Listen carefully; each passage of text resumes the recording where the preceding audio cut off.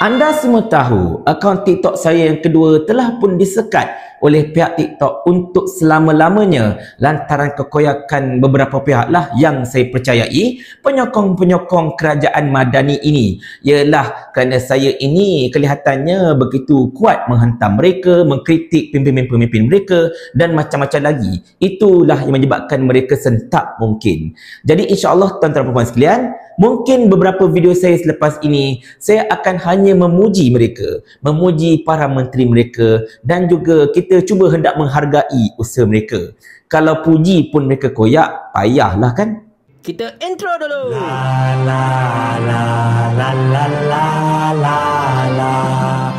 Assalamualaikum warahmatullahi Video memuji para pimpinan para menteri kerajaan madani ini saya mulakan dengan memuji Menteri Pendidikan Fadlina Siddiq beliau patut dipuji tuan-tuan dan puan sekalian. Kalau anda menonton perbahasan Dewan Rakyat semalam, kita dapat saksikan begitu tegasnya Menteri Pendidikan mempertahankan Minggu Solidariti sahabat-sahabat kita yang ditindas di tebing barat sana. Beliau begitu tegas mempertahankan garis panduan do's and don'ts yang telah dikeluarkan oleh Kementerian Pendidikan. Sambil mengatakan jangan ada mana-mana pihak yang cuba untuk kacau minggu ini. Jangan kacau cikgu-cikgu. Jangan kacau mereka buat kerja. Tak kiralah dari belah sini ataupun dari belah sana. Dia kata jangan kacau kami.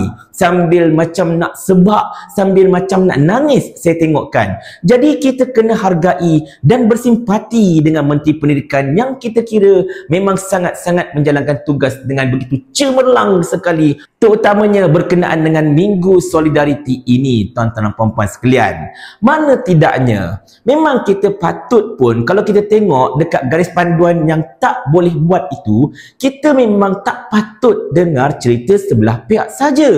Itu betul. Kita kena dengar cerita kedua-dua belah pihak kita nak dengar cerita daripada mereka yang ditindas. Itu betul. Kita juga kena dengar cerita dari mereka yang menindas. Kita kena faham, orang yang menindas ini pun mengalami kesukaran, mengalami kesedihan. Mereka sedih tahu bila terpaksa menindas orang. Mereka sedih tahu bila terpaksa membunuh orang. Mereka sedih bila terpaksa bom masjid, bom hospital dan sebagainya. Mereka sedih bila mereka terpaksa merampas tanah orang orang lain untuk dijadikan sebagai tempat tinggal mereka secara haram. Mereka sedih tahu, rasa kecewa, rasa terkilan dan rasa macam ragu-ragu sebenarnya bila mereka ini mengambil alih tanah-tanah asal orang di tempat itu lalu dibuat penempatan-penempatan haram. Kita kena dengar kisah kesedihan mereka tentang perjuangan mereka untuk merampas tanah orang lain. Kita kena dengar kisah perjuangan mereka untuk membunuh jutaan nyawa yang tidak berdosa termasuklah wanita wanita dan kanak-kanak. Dan kita kena dengar kisah sedih mereka yang terpaksa mengorbankan rakyat mereka sendiri semata-mata untuk memburuk-burukkan pejuang-pejuang kemerdekaan. Jadi tuan-tuan sekalian kerana itulah kita kena dengar kisah mereka. Tak baik tau kalau kita tak nak dengar kisah mereka. Bukan senang kita nak menyelami perasaan orang yang suka menindas orang yang merampas tanah orang lain orang yang suka hati suka hati mengebom itu dan ini sebagainya bukan senang. Jadi betul lah tu kata Fadlina Siddiq. Kita kena dengar kisah kedua-dua belah pihak. Barulah kita dapat merasai perasaan mereka yang ditindas dan mereka yang menindas. Betul tak lagi satu, saya memang setuju sangat-sangat sekiranya kalau garis panduan itu melarang untuk kita mempamerkan apa-apa sahaja lambang yang boleh mendatangkan ketegangan, kegusaran serta perasaan kurang senang pihak-pihak tertentu. Sebab kita tahu penyokong golongan yang menindas itu ramai dekat Malaysia dan dipercayai ramai di dalam kerajaan madani itu sendiri. Macam ni ha, Allah terpakai pula. Ini lambang yang berbahaya. Ini adalah lambang yang akan mengundang ketegangan, akan mengundang kegusaran, akan mendatangkan perasaan kurang senang sebenarnya. Jadi jangan pakai benda ni, tak baik. Kita kena pakai, pakai je warna biru putih tu. Ah, ha, itu ialah lambang yang mungkin dibenarkan untuk Minggu Solidariti tersebut. Sebab kita tengok kita nak jaga sensitiviti sebenarnya. Kita nak jaga perasaan mereka yang saya katakan tadi mungkin menyokong golongan bintang Daud itu. Mereka mungkin macam contohkan dipercayai MP Tebrau yang siap like satu posting daripada seorang pelakon yang berasal dari negara bintang Daud itu. Dia like benda tu. Jadi mungkin dia sokong golongan bintang Daud. Golongan seperti ini, MP Tebrau ini berada dalam kerajaan. Kita kena jaga hati mereka.